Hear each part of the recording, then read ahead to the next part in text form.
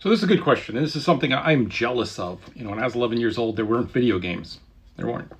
They're mechanical uh, arcade machines is what we had in my day. Uh, so I didn't get as 11 year old dream of making video games. I just knew I wanted to, and I, even at that point, I didn't know if I wanted to write or not.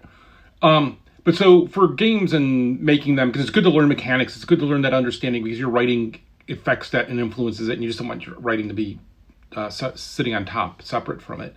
I mean, what are his friends playing? Are they in Roblox? Are they in Game Maker? Or will they play something he makes with Game Maker? Find out where his friends are, have him make stuff inside of that, because then he could share it with them, he could feedback, and that's the biggest thing. And then for writing, um, if you're a novelist, I think you can go off in the woods and write your great novel and on your own and, and be all weird about it. But if you're writing dialogue, if you're writing for TV, for games, um, for anything that has naturalistic, realistic kind of dialogue and back and forth and characters and personalities uh, that you have to have come alive, uh, have your son live his life. Um, get exposed to as much stuff as he can to as many people as he can. Um, I mean, read a lot, but reading doesn't just do it. Um, most of the best writers I know, both in TV and movie, in um, games, to have a lot of friends. They tend to have a big social group that they're sociable themselves. Excuse me.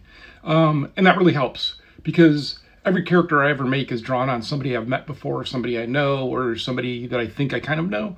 Um, and you draw on that and you start building the character there, or you hear snippets of lines of dialogue or something. And you know, it's being exposed to a lot of weird stuff that helps. I mean, being 18 and having um, some 60 year old guy tell me we got to stop Friday mornings when we get our paycheck at 6 a.m. to go to the bar because they'll cash the bar uh, if we buy drinks there. No, you'll learn a lot.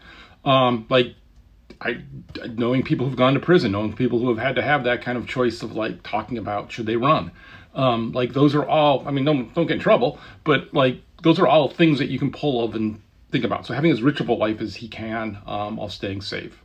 Um, and it just because sometimes I think now people get very siloed, where we're like, oh, I'm going for the degree in this, and so this is what I'm going to do, versus like this broader thing. Like I didn't take an English degree for writing because I thought that was too narrow and I wanted to have a broader set of experiences, so I took theater. Even though I really wasn't sure what I was writing for yet at that time, um, it just gave me a bigger breadth of things to think about than just pure kind of like the English classes and, and creative writing. So support him. Support him when he pivots to do something else and becomes a doctor. Um, like whatever, but like just there you go. That's a start.